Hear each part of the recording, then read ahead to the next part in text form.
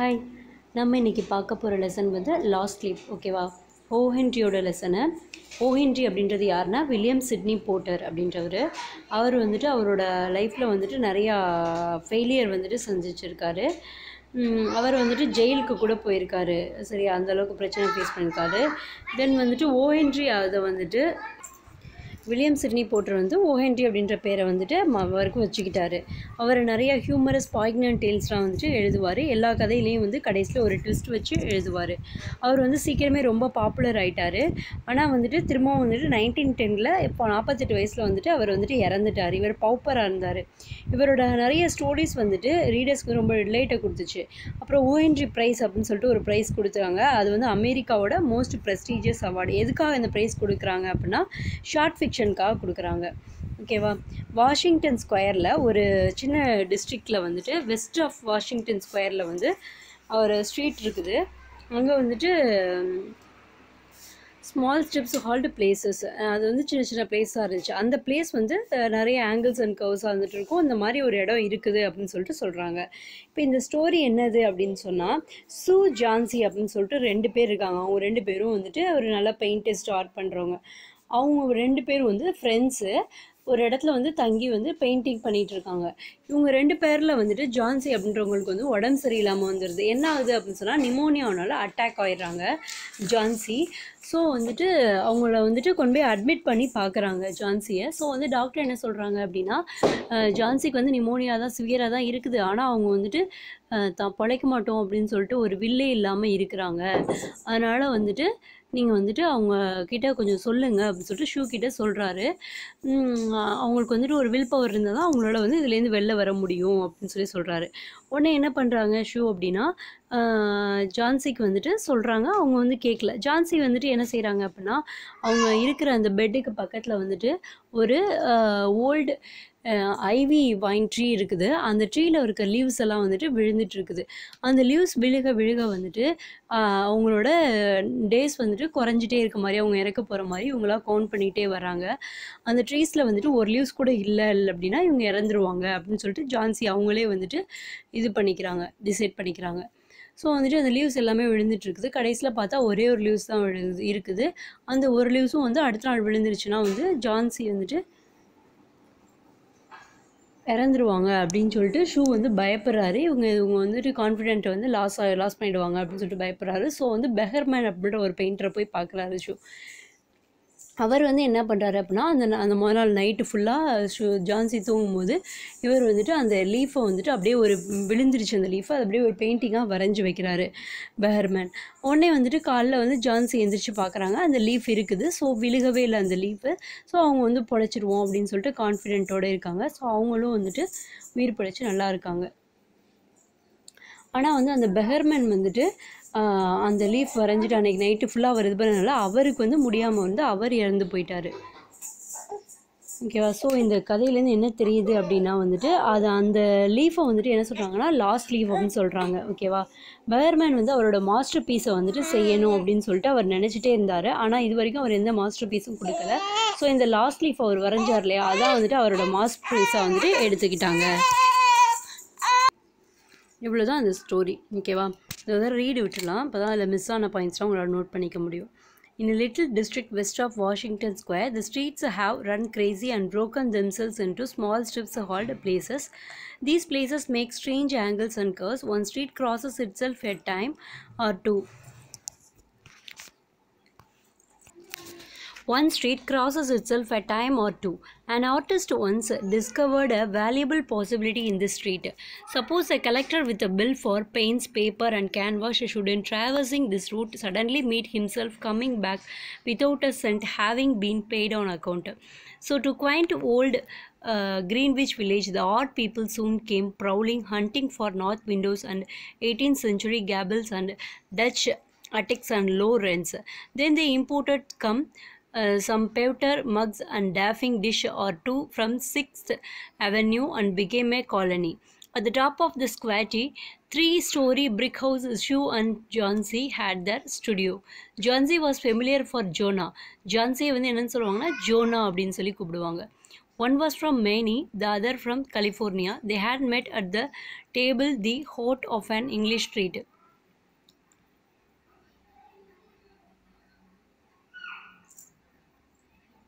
Delmonico's and uh, found their taste in art, chicory, salad, and bishop's leaves. So congenial that the joint studio resulted. That was in May. In November, a cold, unseen stranger whom the doctors doctors called pneumonia stalked about the colony, touching one here and there with his icy fingers. Over on the east side of this ravager strode boldly, smiting his victims by scores, but his feet trod slowly through the mass of the narrow and moss grown places.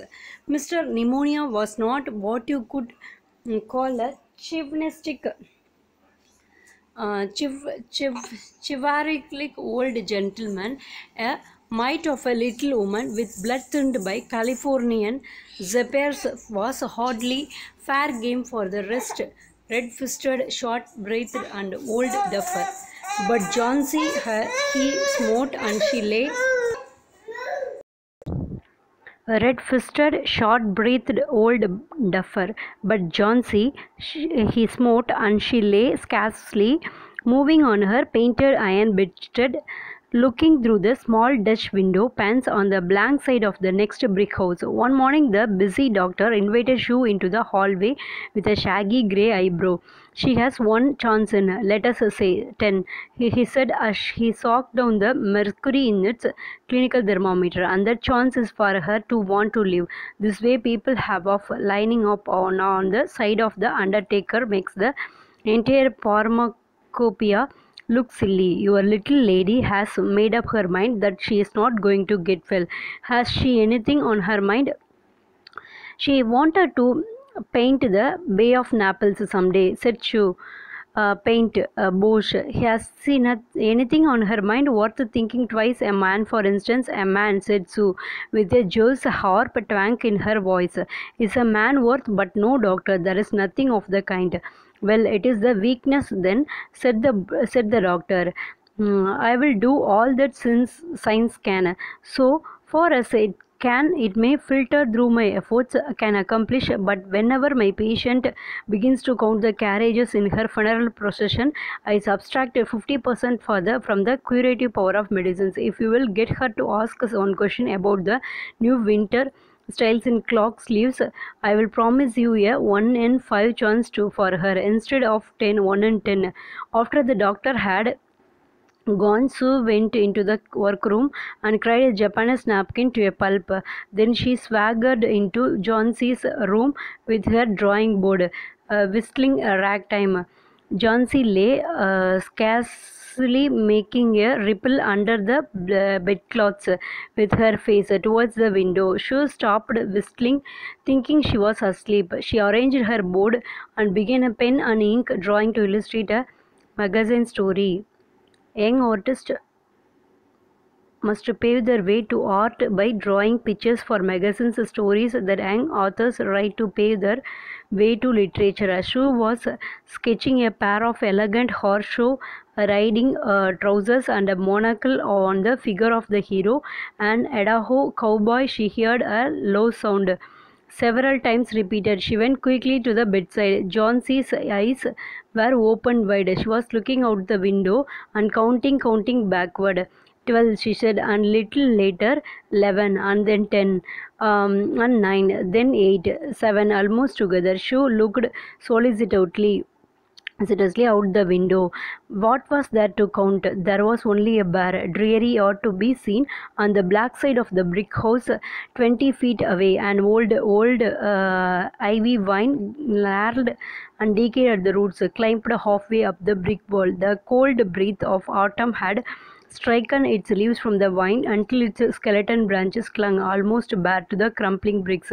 What is it, dear? asked Shue. Six asked, said Johnsy in almost a whisper. They are falling faster now. Three days ago, there were almost a hundred. It made my head ache to count them. But now it's easy. There goes one, another one. There are only five left now. Five. What, dear? Tell your Shady. Uh, leaves on the ivy vine. When the last one falls, I must go too. I have known that for three days. Did not the doctor tell you? Oh, I have. Uh, I never heard of such nonsense, complained Sue with magnificent scorn. What have old ivy leaves to do with your getting well? And you used to love that vine so, you naughty girl. Don't be a goosey. Uh, why the doctor uh, told me this morning that your chances for getting well real soon were let's see exactly what he said. He said the chances were 10 to 1 why? That's almost as a good chance as we have in new york. When we ride on the streetcars or walk past a new building try to take some broth now and let sudie go back to her drawing so she can sell the editor man with it and buy port wine for her sick child and pork chops for her greedy self. You need not get any more wine, said Johnsy, keeping her eyes fixed out the window. There goes another. No, I don't want any broth. That leaves just for. I want to see the last one fall before it gets dark. Then I will go to. Johnsy, dear, said Joe, bending over her. Will you promise me to keep your eyes closed and not look out the window until I am done working? I must hand those drawings in my in by uh, tomorrow. I need the light, or I would draw the shade down. Could not you draw in the other room? asked Johnsy coldly. Could you draw in the other room? asked Johnsy coldly. I would rather be here by you, said Joe. Besides, I don't want you to keep looking at those silly ivy leaves. So tell me as soon as you have finished, said Johnsy, closing her eyes and lying white and still as a fallen statue. Because I want to see the last one fall. I am tired of waiting. I am tired of thinking. I want to turn loose by uh, my hold on everything and go sailing down uh, just like one of those poor tired leaves. Try to sleep, said so. I must call Behrman up to be my model for the old hermit miner. I will not be uh, gone a minute. Don't try to move till I come back. Old Behrman was a painter who lived on the ground floor beneath them. He was past 60 and had a Michelangelo's Moses beard curling down from the head of a sta- sta- satyr along with the body of an imp. Behrman was a failure in art. Forty years he had wielded the brush without getting near enough to touch the hem of his mistress' robe. He had been always about to paint a masterpiece but had never yet begun it. For several years he had painted nothing except now and then a daub in the line of commerce or advertising. He earned a little by serving as a model to those who young artists in the colony who could not pay the price of a professional. He drank gin to excess and still uh, talked of his coming masterpiece. For the rest, he was a fierce little uh, old man who scoffed terribly at softness in anyone and who recorded himself as a special, a special mastiff in waiting to protect the two young artists in the studio above. Shu found Behrman smelling strongly of juniper berries in his dimly lighted den below. One in one corner was a black blank canvas on an easel that had been waiting uh, there for 25 years to receive the first line of the masterpiece. She told him of Johnsy's fancy and how she feared she would indeed light fragile as a leaf herself float away when her slight hold upon the world grew weaker. Old Behrman, with his red eyes plainly streaming, shouted his contempt and derision for such idiotic imaginings. As he cried, Is dear people in the world admit their foolishness to dry because leaves they drop off from mm, a confounded vine. I have not heard of such a thing. No, I will not boast as a model for your fool hermit dunderhead. Why do you allow that silly mm, pussiness to come in the brain of her age dote poor little Miss jo- Johnsy? Yancy, she is very ill and weak, said Shu, and the fever has left her mind morbid and full of strange fancies. Very well, Mr. Behrman, if you do not care to pose for me, you need not. But I think you are a horrid old, old flibber uh, Tijibet. You are just like a woman, Eld Behrman, who said, I will not boast. Go on. I come meet you for half an hour i have been uh, trying to say that i am ready to boast goat uh, this is not any place in which one so good as miss Yonsi shall lie sick someday i will paint a, paint a masterpiece and we shall all go away God goddess Johnsy was sleeping when they went upstairs. She pulled the shade down to the windowsill and motioned Behrman into the other room. In there, they peered out the window fearfully at the ivy vine. Then they looked at each other for a moment without speaking. A persistent cold rain was falling, mingled with snow. Behrman, in his old blue shirt, took his sheet as the hermit minor on an upturned kettle for a rock. When Sue awoke from her from an hour's sleep the next morning, she found Johnsy with dull, wide open eyes. mm, starting at the drawn green shade. Pull it up, I want to see, she'd ordered in a whisper. Wearily Sue obeyed, but Lou, after the beating rain and fierce gust of wind that had mm, endured through the livelong night there, it stood out against the brick wall one ivy leaf. It was the last one of the vine, still dark green near its stem, with its serrated edges tinted with the yellow of dissolution and decay. It hung bravely from the branch some twenty feet above the ground. It is the last one, said Johnsy. I thought it would surely fall during the night. I heard the wind. I will it will fall today and I shall die at the same time. Dear, dear Shih Tzu, uh, learning her own um, face down to the pillow, think of me. If you don't think of yourself, what would I do? But Johnsy did not answer. The lone lonesomest thing in all the world is a soul when it is making ready to go on its mistress for journey. The Johnsy seemed to possess her more strongly as one, one by one the ties that mm, bound her to friendship and to earth were loosed. The day wore away and even through the twilight they could see the lone ivy leaf clanging, uh, clinging to its stem against the wall and then uh, with the coming of the night the north wind was again loosed while the rain still beat against the windows and pattered down from the low Dutch eaves. When it was light enough, Johnsy, the merciless, commanded that the shade be raised. The ivy leaf was still there. Johnsy lay for a long time looking at it, and then she called to Sue, who was stirring her chicken broth over the gas stove. I have been a bad girl, Shudi, said Johnsy. Something has made that lost leaf stay there to show me how wicked I was. It is a sin to want to die. Uh, you may bring me a little broth now and some milk and with a little pot in it. And no bring me a hand mirror first and then pack some pillows about me. And i will sit up and watch you cook. An hour later she said should shudi someday i hope to the paint paint the bay of naples. The doctor came in the afternoon and Shu had an excuse to go into the hall away as he left. Even chances said the doctor taking Shu's thin uh, shaking hand in his uh, with good nursing you will win. And now i must see another case. I have downstairs. Behrman his name is some kind of an artist. I believe pneumonia too he's an old weak man and the attack is acute. There is no hope for him but he goes to the hospital today to be made comfortable.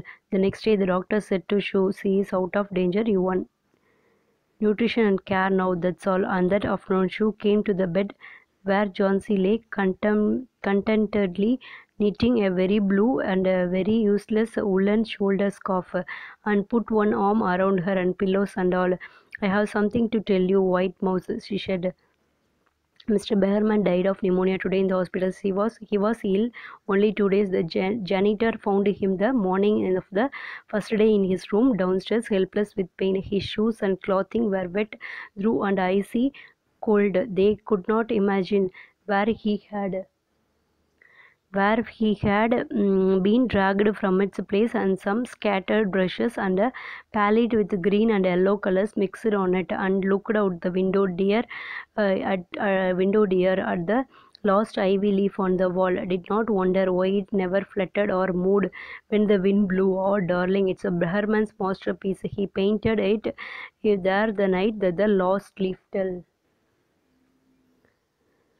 okay அவ்வளோதான் அந்த story இந்த நீங்களும் ஒரு தடவை read பண்ணுங்கள் இல்லை இதை here பண்ணுங்கள் ரீட் பண்ணதை. கண்டிப்பாக அது நல்லாவே உங்களுக்கு அண்டர்ஸ்டாண்ட் ஆகும். நெக்ஸ்ட் வீடியோவில் பார்க்க